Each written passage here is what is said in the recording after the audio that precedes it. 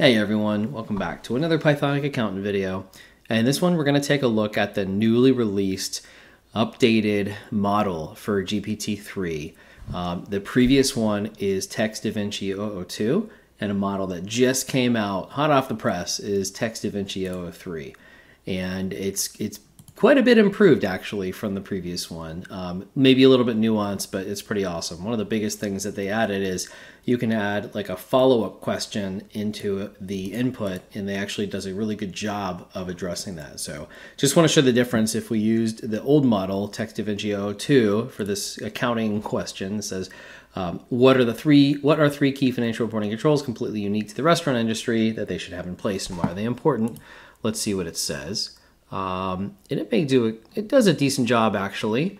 Um, it gives some you know unique controls here: food and beverage cost control that can fluctuate significantly based on the cost of ingredients. It actually does give you um, why it's important having a system in place to track managing costs critical to maintaining profitability.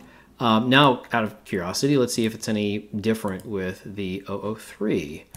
And let's see what it gives us and I, it's similar, but I think this has a little bit more of a deep dive. Um, either way, I mean, it's pretty impressive types of responses. If I was, you know, planning um, an audit or walkthroughs of internal controls, and under this would help me understand them if I was new to the restaurant industry.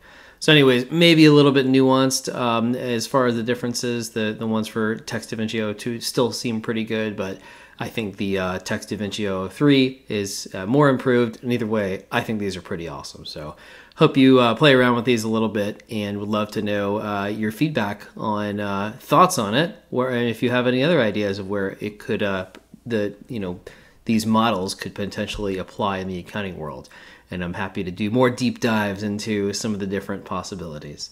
So hope you enjoyed this, and we'll see you at the next one.